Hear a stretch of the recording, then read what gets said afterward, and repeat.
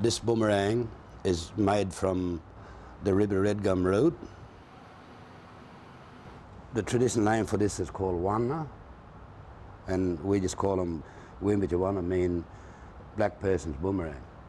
I'm Badger Bates uh, from Wilcannia, and I put the emu fat and the red ochre on this one, and then this one is made from mulga. And what I try to do with this one again is I just put that cooking oil on it, just to show like I don't know, just sort of two ways now being Aboriginal where you could use emu fat and ochre, the traditional way, but also then you can use oil or lacquer and sort of say come from here to there today to where we is, and we can sort of go backward with both of it. So I just try and do it like that.